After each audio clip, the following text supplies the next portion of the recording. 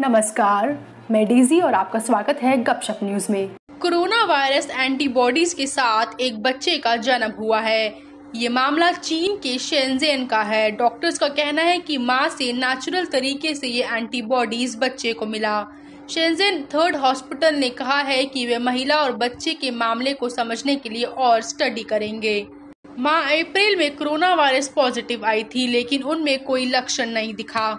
Delivery के बाद जब जाँच की गई तो बच्चा और माँ दोनों ही कोरोना वायरस नेगेटिव थे।